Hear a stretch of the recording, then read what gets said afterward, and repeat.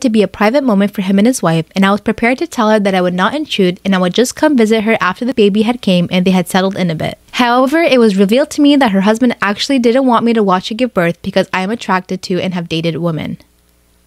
I was a little confused because I didn't see how that had anything to do with the situation. The story comes out that the reason he never speaks to me or acknowledges my presence is because he doesn't want his wife to be friends with the woman who likes women. He doesn't want me watching her give birth because that means I'll be looking at her naked and it might make me attracted to her or want to hook up with her. Ah. Gosh.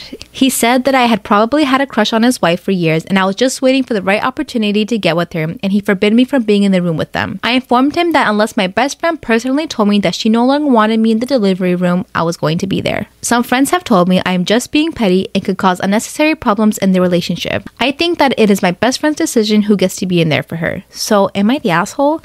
No, you're right. It is her decision who gets to be in the room. This dude sounds like a piece of shit